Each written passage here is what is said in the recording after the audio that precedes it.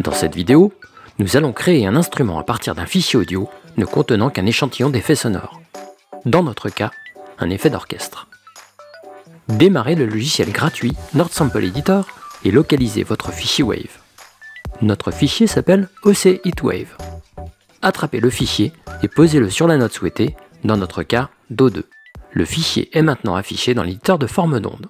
Appuyez sur le bouton lecture ou sur la barre d'espace de votre clavier pour écouter l'échantillon que vous venez d'importer. Ajustez la plage du clavier sur laquelle vous souhaitez que l'échantillon soit reproduit à l'aide des poignées dédiées. Nommez votre instrument dans le champ Sample Instrument Name. Appuyez sur le bouton Save and Transfer to Norm. L'échantillon est maintenant disponible dans la section Lecture d'échantillon de votre Nord. Écoutons-le.